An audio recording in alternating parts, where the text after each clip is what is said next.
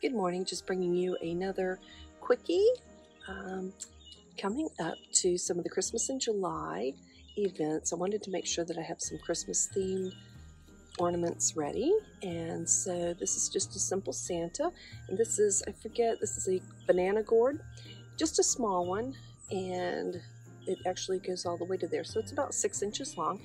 And what I did was I took QuikWood and I made his mustache and I made his cap and I don't think I used any QuikWood down here at all. That was just the shape of the gourd. So after I used the QuikWood, then I used a like a fake snow that you kind of dab on and I dabbed that on all these spots so they would look kind of snowy and painted them.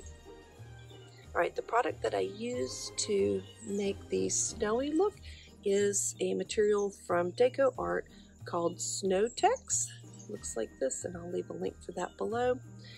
Uh, this four ounces has lasted me, I've used about half of it, and it's lasted me probably eight years, maybe 10 years. But I'm, I'm kind of careful with it. I don't use lots and lots of it. But when you want it to look kind of snowy, it's the perfect thing. And that was it. Pretty quick, doesn't use a whole lot of product, so not real expensive to make but super cute on the tree. Thanks for watching.